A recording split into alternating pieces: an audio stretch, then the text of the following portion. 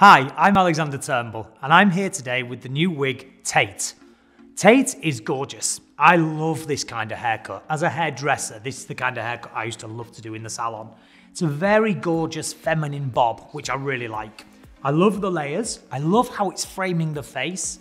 And this, is this a fringe panel here, or is it bangs? I'd say it's kind of part of the haircut almost, but it's almost like a fringe as well because it's kind of sitting in, framing the face, accentuating the eyes. This haircut is really something. And I think this wig is gonna be really popular. So you can see the layers, how they're cut in. They're cut very soft and almost a feathered texture, which creates all this lovely shape. Tate is a lace front wig with a double monofilament top, machine made back, and adjustable straps in at the nape.